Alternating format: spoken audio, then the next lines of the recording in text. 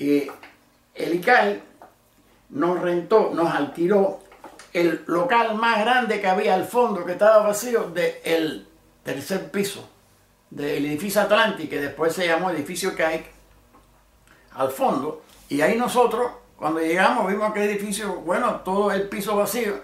Fuimos allá, recogimos los muebles, los trastos, eso que tenía Jesús de Almas allá, que eran unas mesas pintadas de rojo y verde y, y con sillas semidefondadas y unas, mm, unas mesitas de animación hechas de madera muy rústica. Y fuimos a recoger todo eso, lo montamos en un camioncito, lo llevamos para allá y cuando nosotros entramos por el pasillo del tercer piso, íbamos, tenía que ir hasta el fondo, que salimos del eh, el elevador. Los que trabajaban ahí eh, en ese edificio eran, ahí eh, dentistas, abogados, arquitectos, había una pequeña estación de radio, en fin, eran todos eran profesionales y todas las secretarias que trabajaban pues eran jóvenes bonitas, que tenían buena presencia, muy bien vestidas. Y cuando ven que llegamos nosotros, unos tránsfugas ahí que, que íbamos con aquellos trastos para allá atrás, para el fondo, óigame, todas esas jóvenes sacando las cabezas así mirando, eh, como, eh, vea, con asombro, bueno, ¿y esta gente quiénes rayos serán? Esos, esos nuevos que, que, que han alquilado ese piso al fondo, ¿no? Y así fue como se inauguró Dibujo Animado de Cali. Retroactivamente, el primero de enero de 1960. Para mí, para mí, Dibujo Animado comenzó el 4 de diciembre de 1959. Porque fue cuando Jesús de me vino a verme a mí, que iba a verme a las 9 de la noche. Bien, nosotros comenzamos ahí a trabajar. Primero, hicimos la prensa seria que ya se había puesto. Se me olvidó decir que cuando Alfredo de Vara dijo, ya ha sido creado el departamento de dibujos animados, Alfredo de Vara nos dijo, se van a hacer las copias de este, de este dibujo animado y yo quiero que ustedes mismos personalmente lo lleven a los cines. Ustedes entren y le digan al proyeccionista, mira por favor, eh, proyecta esto. Tenía tres minutos. O sea que a mí me dieron, eh, a Pepe Reyes, nos dieron varias copias, los proyectos de las películas, entonces nosotros íbamos a los cines, a los cines de La Habana, ¿no? Y dice, mira, por favor, de parte del ICAI, que esto, que lo pase. Y teníamos que estar ahí hasta que lo proyectaran, ¿no? Esa fue nuestra primera labor. Bien, entonces cuando ya comenzamos y terminamos el maná, y cuando ya la hermana estaba listo, volvimos a rentar de nuevo, fuimos a con Palenzuela en Telefil, que volvimos a alquilar la mesa de animación, firmamos en Maná, que fue todo a color. Y ahí los que estábamos nosotros, ¿quiénes fueron los que nosotros fundamos Dibujos Animados? Los que fundamos Dibujos Animados fue Jesús de Armas, que él fue el que tuvo la idea, ¿no? Eh, la iniciativa. Eduardo Muñoz, que era su asistente, pero ellos dos eran muy buenos dibujantes, muy lindo lo que diseñaban. Jesús tenía buenas ideas haciendo sus temas, eh, lo que era el storyboard. Pero yo era el único que se ve animación. Ellos no sabían absolutamente nada. Y Pepe Reyes estaba en cero. Yo a Pepe Reyes tuve que enseñarle todo. Pepe Reyes comienza a ser mi asistente y yo todo se lo tengo que ir dando masticado, enseñado para que Pepe Reyes lentamente, le costó mucho trabajo, le costó años de poder levantar, pero bueno, poco a poco fue levantando, es que no sabía nada de eso, Pepe Reyes era linotipista, por lo menos yo había estudiado eso y, yo sabía cómo había que hacer eh, una película de dibujos animados. Cuando se terminó ya eh, en Maná, nosotros comenzamos la siguiente película, que ya fue más larga se iba a llamar La Raza. Recuerden que yo les he dicho que lo que se hacía no eran películas de dibujos animados de historias y de temas, lo que se hacía era...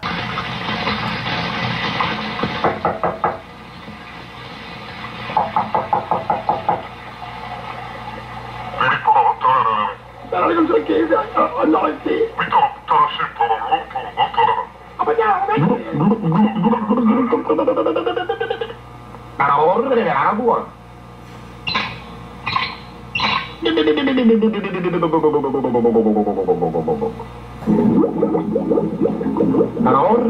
Calor de agua. Aquello era de campaña publicitaria. La prensa seria es un, es, es un dibujo animado publicitario. El maná también es publicitario. La raza ya tenía un cierto cariz de una historia que se estaba contando. Pero la raza tenía un problema. La historia de la raza, que es una historia que hizo Jesús de Ama, era un negro cubano que se había graduado en la universidad con muy buenas calificaciones, pero cuando él iba a buscar empleo, como veían que era negro, le decían que no, bueno, mire, cuando tengamos algo le llamamos y nunca le daban trabajo. Entonces el negro, deprimido, cogió pintura blanca y se pintó de blanco. Y cuando pintó de blanco fue a ver a el dueño o al manager o al presidente de esa compañía que cuando él le presenta los estudios que él había hecho, el jefe, que antes había rechazado el negro, ahora como viene pintado de blanco, le dice, ¡Oh, fantástico! Nunca había visto un expediente tan brillante. Trabaje duro, mi amigo, que con su esfuerzo y con su trabajo usted llegará lejos en esta compañía. Ese era el tema. Pero ¿qué ocurrió con la raza? Que cuando ya la raza ya estaba ya animada y se estaban haciendo los acetatos, llega la orden de Alfredo que dice, no, eso hay que pararlo, eso hay que tirarlo para el latón de la basura. ¿Cómo vamos a hacer una película aquí de la raza de los negros si con la revolución ya no hay racismo, ya eso se acabó? Y la raza ahí mismo murió. O sea que ese esfuerzo y ese trabajo quedó eliminado. No sirvió para nada. Una cosa, el primer conflicto, el primer problema que nosotros tuvimos en el ICAI como grupo, recuerden que éramos nosotros cuatro, Eh, el primer problema fue que nosotros en Siboney teníamos la costumbre que trabajábamos de lunes a viernes de 9 a 12 y de 3 a 6 los sábados no trabajamos y así fue como nosotros comenzamos a trabajar cuando estábamos en el ICAI con ese horario que era nuestro horario. Bueno, pasó el primer mes de enero, el mes de febrero, el mes de marzo y se comenzó ahí a crear un conflicto y un problema que viene la gente de la administración ICAI con mi sindicato a venir a plantearnos que eso no podía ser, que en el ICAI se, traba- se trabajaban 8 horas diarias, que los sábados era de hasta las 12 del día, que era media jornada, y Jesús de Alma, no, no, no, no, no, no, nosotros somos artistas, y los artistas trabajan con su mente, y nosotros tenemos que esparcirnos, nosotros tenemos que tener nuestras condiciones especiales, pero la gente del ICAI no tragaban y vuelven de nuevo, no Jesús, eso no puede ser, porque aquí, que si las leyes del país, que si el Ministerio del Trabajo, aquí por ley hay que trabajar desde las 8 hasta las 12, y tanto y tanto dieron y tanto dieron que no nos quedó más remedio que aceptar. Y entonces comenzamos a trabajar, como todo el mundo, de 8 a 12, de 2 a 6, y lo, de lunes a viernes, y los sábados media jornada, de 8 a 12.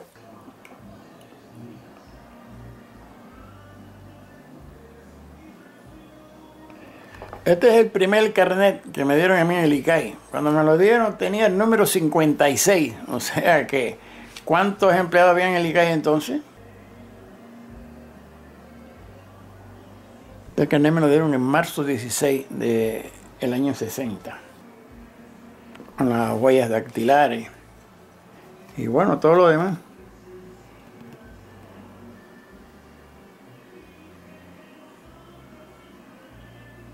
Esa era la edad que yo tenía entonces. Ya había acabado de cumplir los 19 años. ¿Qué clase de melena tenía entonces?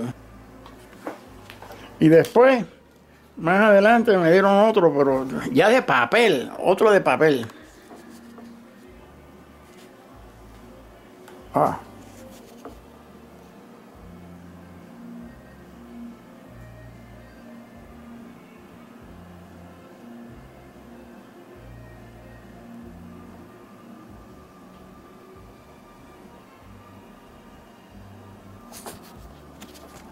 Y con el cargo de animador cargo animador departamento de dibujo animado ¿Eh? Hernán F Enríquez García.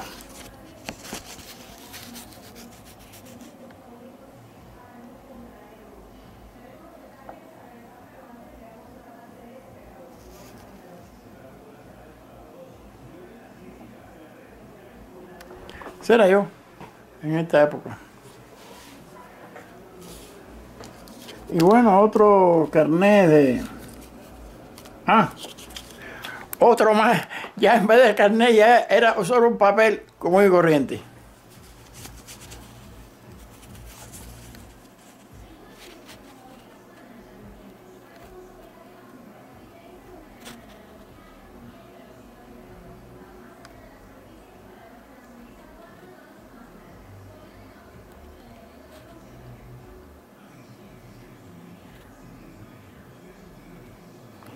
Ya, ya no había carnet, solamente una tirita de papel. Bueno, estos son otros carnets de cuando el pabellón Cuba.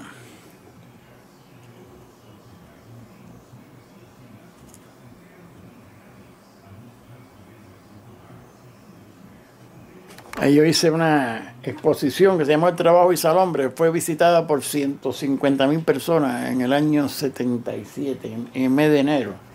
Bueno, mi carnet para entrar en Juventud Rebelde, porque yo publicaba ahí en el periódico.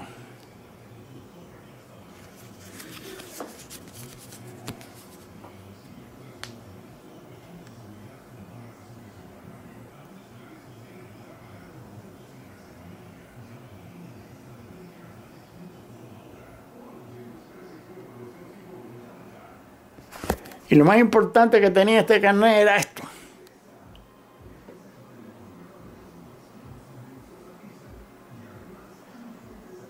Que decía prensa, o sea, ¿a cuántos lugares entré? Nada más que enseñando el carnet. Eh, ese fue el primer conflicto que nosotros como grupo tuvimos con eh, el ICAI. Una de las cosas que se había planteado en el ICAI era que nosotros no solamente íbamos a hacer nuestra producción de dibujos animados, nosotros íbamos a cooperar con el resto de las producciones del ICAI. O sea, nosotros íbamos a cooperar con el noticiero que se estaba surgiendo, con algún largometraje, con los créditos, si había que hacer un crédito. Y entonces nosotros hicimos un dibujo animado muy lindo que quedó, que era en colores, para una película que se llamó Realengo, no sé qué número, Realengo 38, yo no sé, pero era Realengo, que era la historia de cómo los españoles en la colonia eh, marcaban las tierras con círculos, pero entre los círculos quedaba un pedacito que eso le pertenecía, le pertenecía al rey. Por lo tanto, ese pedacito se llamaba realengo. Era una historia que tiene que ver después con el problema de los campesinos en Cuba, Y se había hecho un documental en colores sobre ese tema. Y nosotros hicimos los créditos que quedaron lindísimos. Ahí Pepe Reyes trabajó conmigo como asistente. Fue su primer trabajo de asistente en lo que era la lengua. Después se hicieron otros documentales que también nosotros cooperamos como algo de el arroz, etc. Pero entonces comenzaron ya a llegar otras personas.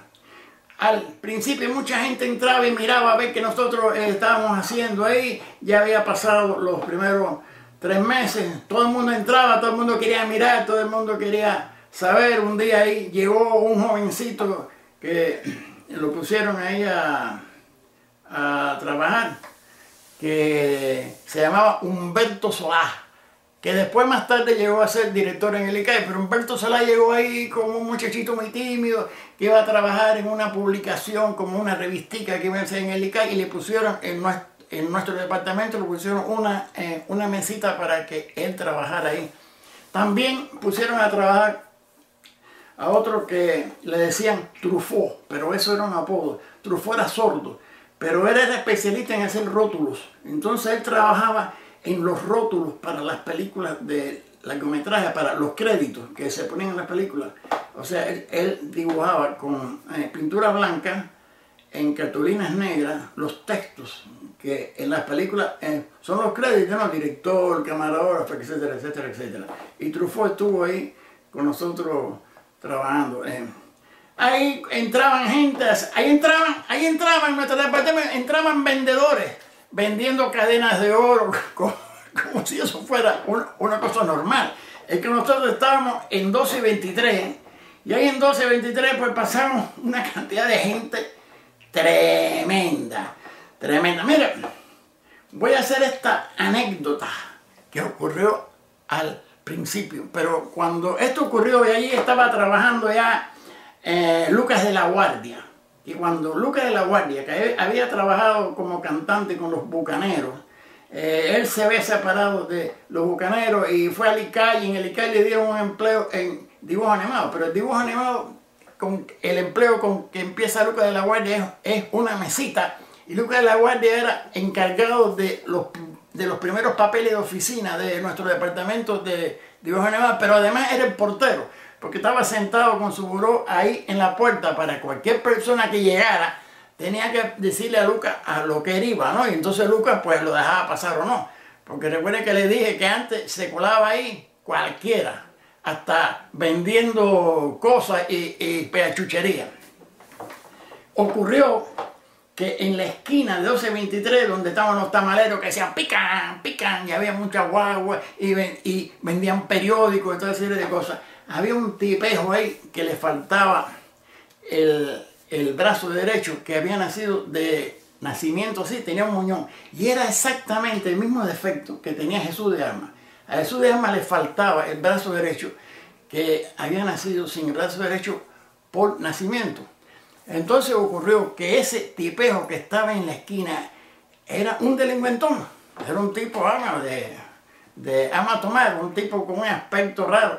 Y yo siempre lo veía por ahí. Y un día llegó un hombre con sombrero eso así bajito, con, como, con, como con una cadena, una camiseta blanca, esa que decían camisetas perro, con un pantalón de eso de raya con tubo abajo. El hombre vino por ahí, por, el, por lo que era el Tencent, que después se llamó tienda de variedades, preguntando a la gente, ven acá chicos, ustedes por aquí conocen a un manco, ustedes por aquí han visto a un manco él estaba buscando a ese que siempre estaba parado en la esquina, que le faltaba el bracito, que era manco. Por eso él buscaba a un manco.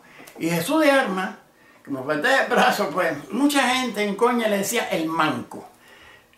Y el tipo este va por ahí, pregunta y pregunta, va dando toda la vuelta por todas las esquinas hasta que llega al edificio Atlántico que entonces tenía un portero, esos porteros que están así como, como que fueran generales, con, con, muchas rayas y con muchos uniformes, con un uniforme rojo. Y entonces el tipejo aquel le dice al portero, le pregunta, ven acá chico, por aquí tú sabes por dónde hay un manco. Y el portero le dice, ay sí, ¿cómo que no? Aquí trabaja un manco, el, el tercer piso atrás al fondo. Y, y, le dice el tipo, bueno, ¿y cómo voy? No, coge ahí el elevador, porque entonces el edificio Atlante era un edificio público, eso no era del ICAI. Entonces él sube por ahí, coge el elevador, va para el tercer piso y entonces llega a donde está la puerta de nuestro departamento y ahí estaba sentado Lucas de la Guardia. Y el tipo llega con el sombrero ese, carajo, y le dice a Lucas, óigame, por favor, eh, aquí trabaja un manco.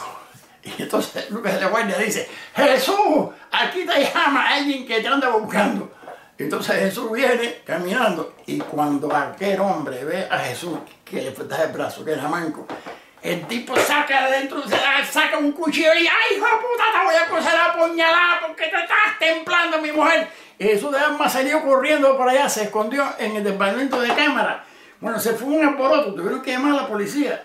Se llevaron preso a aquel hombre que, pues, imagínate, el manco ese delincuentón de la esquina se estaba acostando con la mujer de él y el tipo se creía que era Jesús de Alma porque era manco. Jesús de Alma, para que saliera del cuarto, tuvieron que asegurarle que el tipo ya se había ido, que se lo habían llevado preso, porque no quería salir. Imagínense que, te sacan de pronto... Eh, bueno, esas cosas, señores, insólitas, pasaban en el departamento de digo, más. Para nosotros eso no, nos importaba, eso era parte del folclore diario, vamos, divertido, eh, excitante. Entonces un día se apareció un tipo que era australiano, que hablaba el español, pero pésimo. El, tipo llega y dice, eh, buenos días, yo me llamo Harry Reid, eh, hablando en español raro. Y resulta que él decía que él venía de Australia, que era dibujante, caricaturista y que él quería trabajar con nosotros porque él había visto que en Cuba había una revolución y él era miembro del Partido Comunista en Australia y entonces quería cooperar y nada se apareció de sopetón y trajo eh, unas muestras de una animación que él decía que había hecho, que no era animación, él había con una cámara de 16 milímetros en colores, había filmado unas cartulinas grandes negras que él había pintado con los aborígenes australianos y moviendo la cámara y después poniéndole sonido, él había creado la ilusión como de un conflicto de los aborígenes eh, australianos peleando y guerreando, tirándose las lanzas y cuando los dirigentes de ICA y Santiago Abra, Alfredo de Vara vieron eso, además que era miembro del Partido Comunista, le dieron un empleo. Y le dieron el empleo de director. Imagínense, el único animador era yo. Entonces presenta un guion que se llamó La Cosa. Y yo le animo a La Cosa, era en blanco y negro. Era una historia que, que habían varios personajes de la burguesía, que era el cura, el militar, el banquero, un científico, que les cae una, una bolita blanca y ellos no sabían qué cosa era y, cuando ellos ven que no les sirve siempre la van desechando hasta que eso cae en manos de un niño, el niño ve que es una semilla, la siembra y sale, y sale una planta.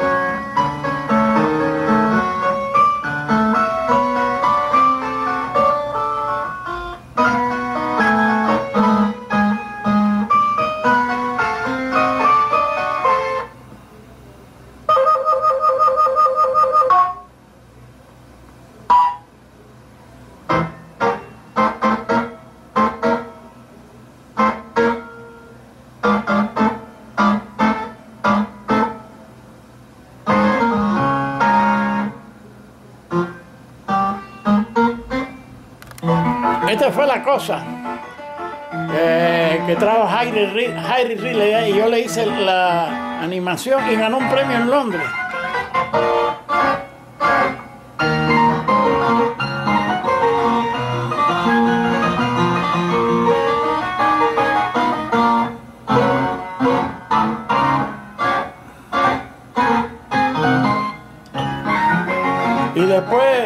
Jesús de Alma se puso celoso porque ganó el premio, le hizo la vida imposible a Harry Reid. Harry Reid tuvo que renunciar e irse.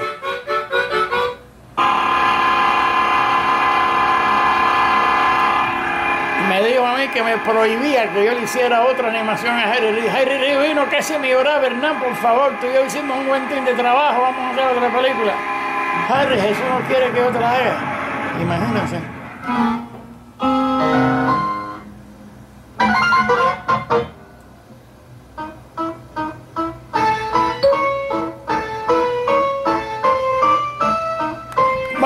La historia. Hasta aquí, no hay. Ya basta con esto.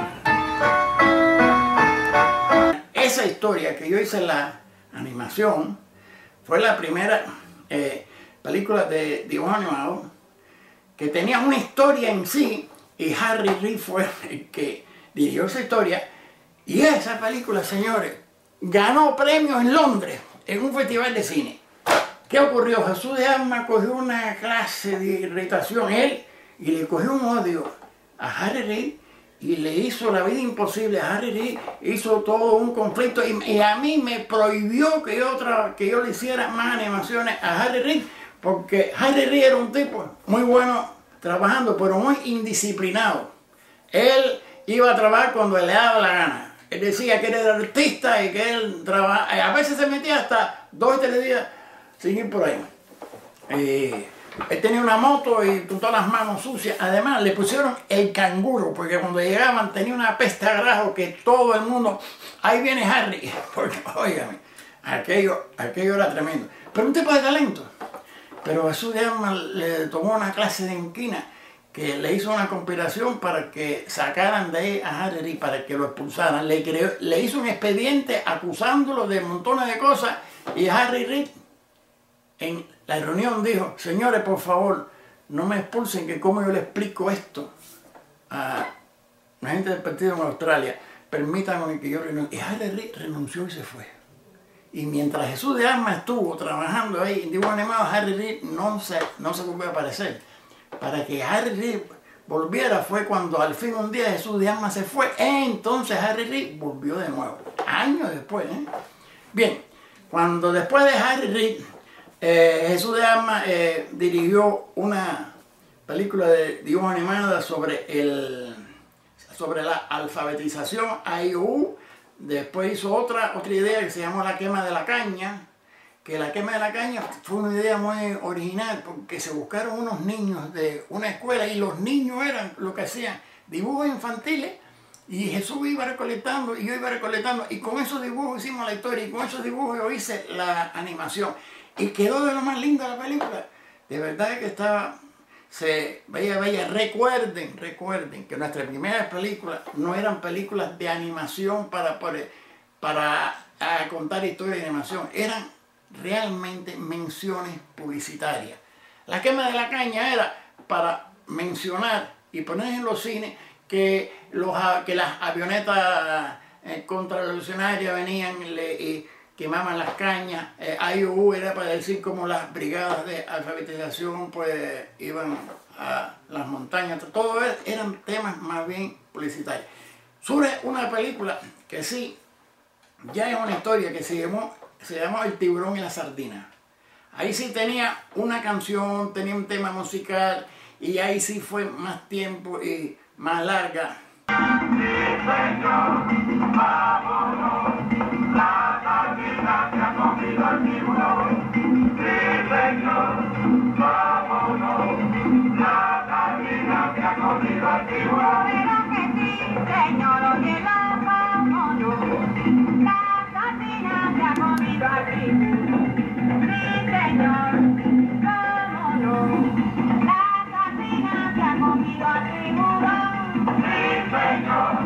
Bye.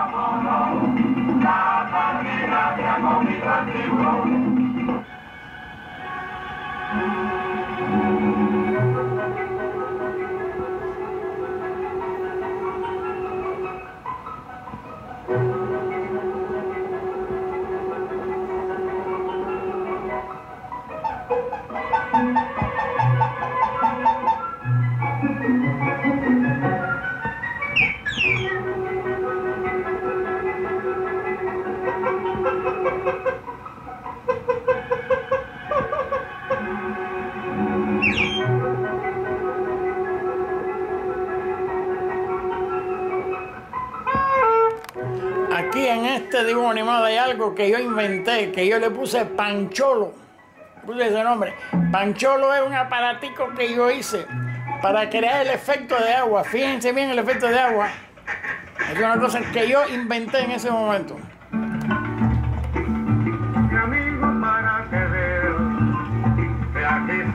Libertad.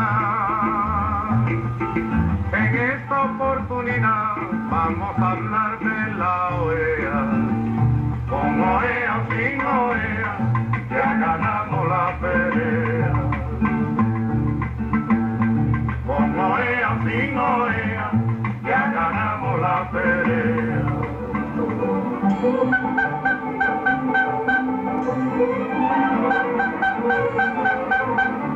Ven el efecto de agua. Algo muy sencillo, sencillito.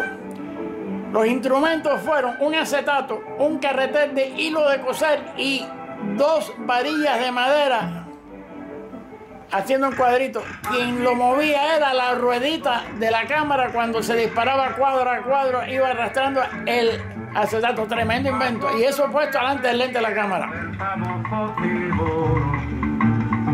Sin orea, ya ganamos la pelea.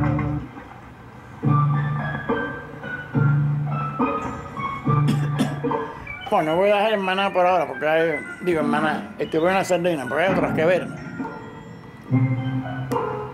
Y bueno, todo eso fue en el primer año, hasta que vino entonces una película que fue más larga, que, que ahí tenía ya eh, más ideas.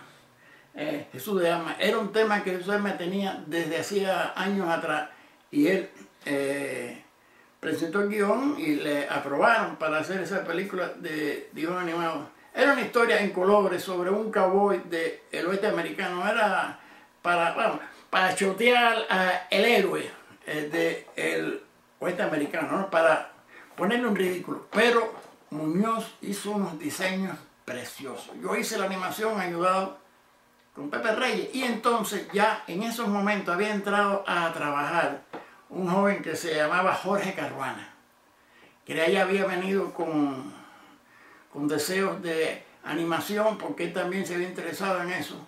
Y ya a Jorge Caruana ya yo no le tuve que enseñar muchas cosas, porque ya traía ya también eh, sus conceptos. Y Jorge Caruana trabajó también en la animación de El Cowboy.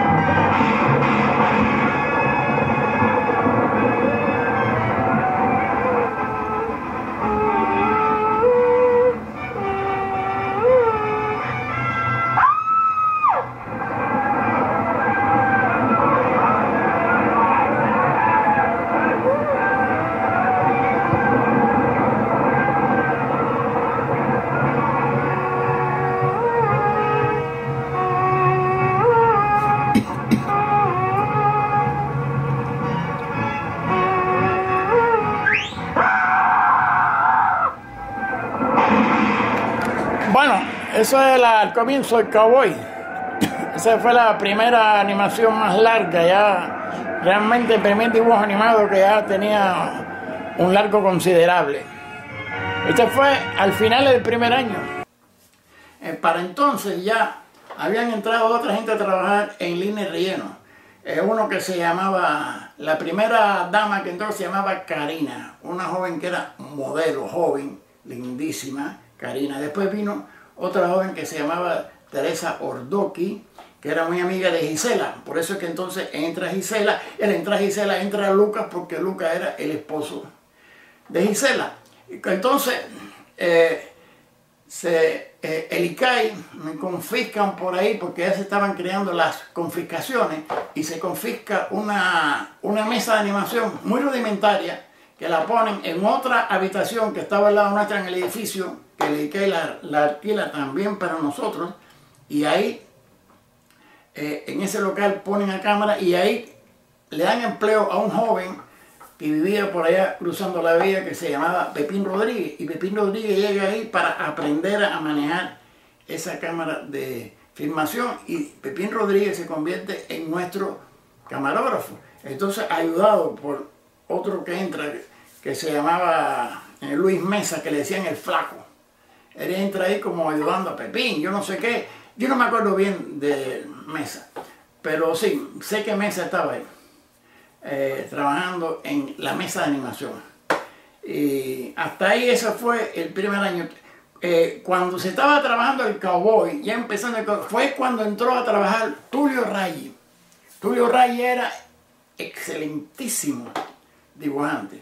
El mejor dibujante que yo conocí en Cuba. De todos los años que trabajé en Cuba, yo nunca vi a nadie que tuviera la calidad de dibujo de Tulio Reyes. Tulio Reyes era un genio dibujando. Eh, y yo con Tulio Reyes hice muchas megas porque Tulio Reyes vivía cerca de mi casa. Hicimos mucha amistad, hicimos como un team de trabajo. Él y yo estuvimos mu- muchos años trabajando juntos. Y bueno, ese, fueron, ese fue el primer y el segundo año. Cuando llegó un momento en que ya había pasado el tiempo ese y Alfredo Guevara nos pregunta, sobre todo le pregunta lógicamente a Jesús de Ama, pero nosotros, al grupo, pregunta qué necesitábamos para hacer mejor dibujo animado, qué equipo necesitábamos. Jesús de Ama dijo que la Oxberry, la Oxberry es la mesa de animación más eh, importante que había en ese momento en el mundo, fabricada en los Estados Unidos. Y el ICAI hace contacto con el dueño o con el presidente de la empresa o de la fábrica de Burberry que hacía su mesa de animación a pedido. Y el dueño de esa fábrica o el presidente de Burberry viene y a entrevistarse con nosotros y nos muestra eh, unos documentales de qué cosa hacía la Osberry. Y nosotros vimos todo aquello, no, yo me quedé maravillado con lo que hacían los Osberry, ¿no?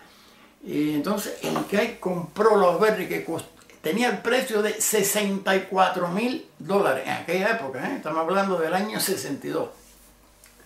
Y también junto con la mesa de animación se compró una truca, que la truca y la Osberry se pusieron en Cuanacán a trabajar allá, en Cuanacán. Entonces había un edificio que era una, una carpintería. Sacaron todo de la carpintería, dejaron aquello desnudo y ahí montaron los Berry. Vinieron dos técnicos americanos a montar los Berry.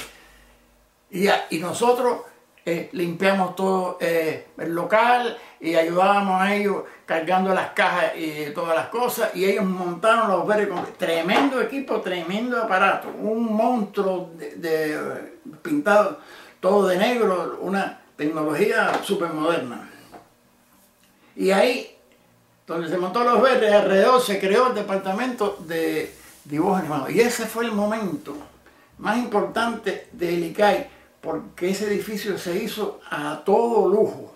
Era precioso, piso de mármol, eh, vitrales de colores. Tiene eh, un diseño fabuloso. Y ahí fue cuando el ICAI parece que le entró una millonada de dinero porque se compraron todos los materiales. Se hizo un almacén para nosotros con todos los materiales, cartulinas, eh, papeles, acetatos, todo lo que hacía falta para animado en grandes cantidades. Y ahí entonces fue cuando nosotros comenzamos en Cuanacán. Aquello era tan bello que era como, como, una, como una piscina de oro, que iban toda la gente ahí a vernos. Y los extranjeros llegaban, se quedaban boquiabiertos. La belleza, eh, las paredes eh, de, del piso al techo barnizadas con todos los gaveteros. Una maravilla. Y ahí comenzamos a trabajar en Cubanacán. Pero ¿qué pasó? En Cubanacán comenzó toda esa nueva producción. Cuando nosotros comenzamos trabajando dibujos animados, primero la producción que se hacía era, los temas eran publicitarios políticos.